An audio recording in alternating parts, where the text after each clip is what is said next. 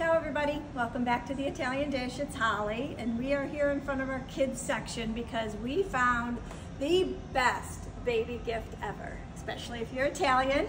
It comes in this adorable box that says hello baby and then inside you get this adorable al dente onesie.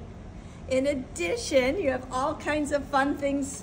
Comes with its own little ciao card that you can fill out.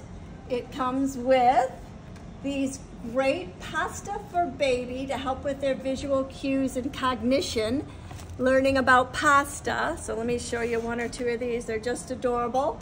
Farfalle.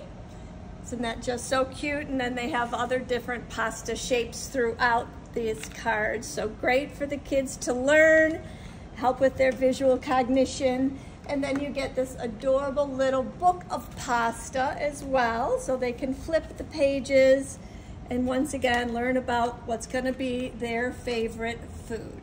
We think it is the best gift ever. We want you to come in and grab one for the baby on your list. Ciao for now.